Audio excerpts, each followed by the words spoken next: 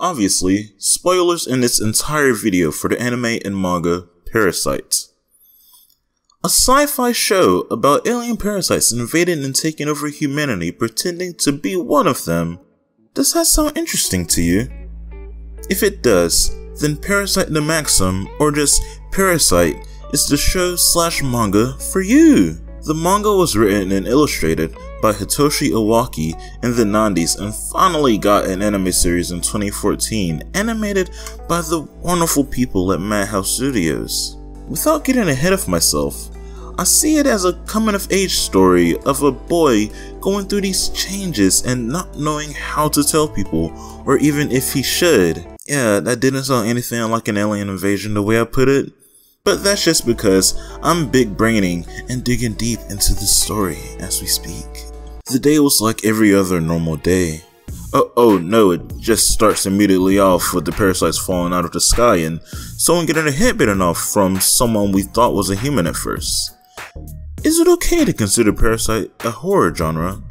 It definitely has elements of horror in it. The main character, Shinichi Izumi, was caught off guard by one of these parasites when it tried to make its way to his brain from his arm. Since Shinichi had earbuds in though, it couldn't easily go through his ear like the rest of the parasites have done. But Shinichi felt it and basically stopped it with his headphone wires. So the parasite had to take over his arm and thus began the story of human and parasites learning how to live together. I didn't know this while watching the first half for the first time, but Madhouse updated the character designs and the settings so it will look more modern compared to its 90s counterpart. Honestly, after going back and reading the manga, it still hits the same amount emotionally and you still feel like you're growing with these characters who are trying to find a purpose for their existence themselves. Most of the parasites that have taken over society have no thought, they just feed off their hunger for humans. Well, I say most, but all really besides one. Reiko Tamura. Reiko, unlike most parasites, questioned her existence and experimented with what all a parasite could do in a human body. How many parasites can fit in one body? And could a parasite have a child? And to answer one of the questions, yes. Yes, a parasite can conceive, and the child would indeed be human, with no parasite within it. The mindset of Reiko Tamura clashed with the mindset of early Shinichi, who wanted nothing to do with parasites and just saw them as a nuisance to the human society.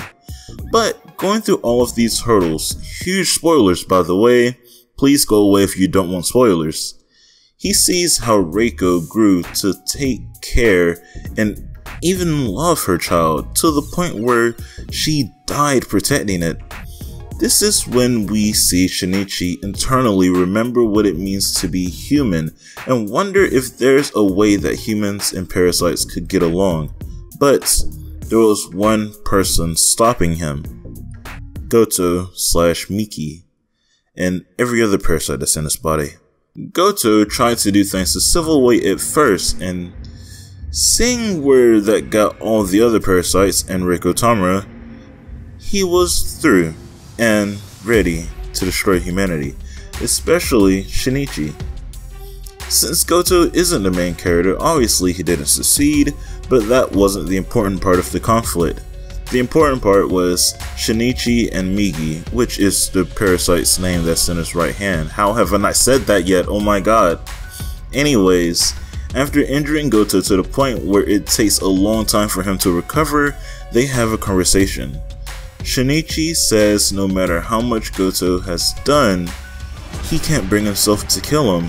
Goto didn't ask for this life, he was flung into it and just did what he could in order to survive.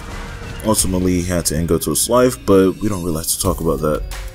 Afterwards, for some reason, parasites began to conform to society and now they live peacefully, probably thinking that they're all are human at this point because there's generally no difference between them in the end.